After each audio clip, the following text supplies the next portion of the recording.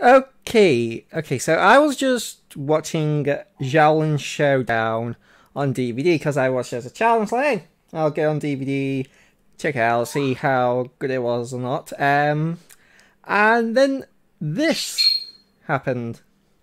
Hey, Kimiko, Oh, you might want to watch the monitor.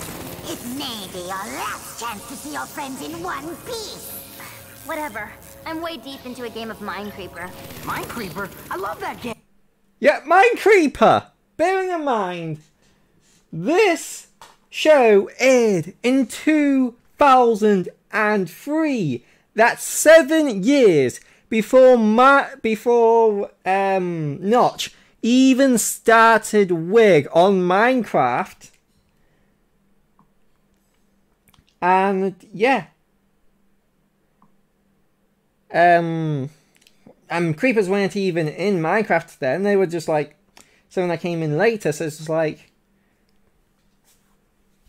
I the fucking um people who wrote this episode bleeding predicted Minecraft. I need to alt tab back into here. But yeah. Mine Creeper, fucking the creators of Xiaolin Showdown with with future tellers or future seers or whatever. Um yeah. Just thought that was cool and funny and yeah. Yeah, it aired on the 1st of November 2003 by the way. What the fuck? Bye bye.